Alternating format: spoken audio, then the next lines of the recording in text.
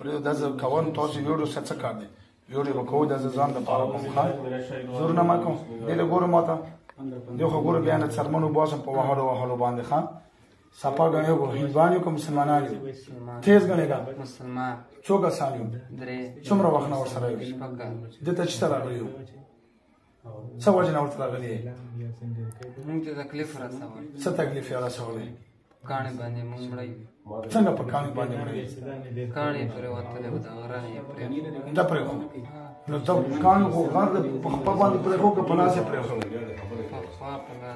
نو دا خو رندوکی نو کاڼ خو به خامخا خلک غورځي خلک چې غره له ځي چکر له لاړ شي هلته خلک کانو غورځي ارڅه کوي ها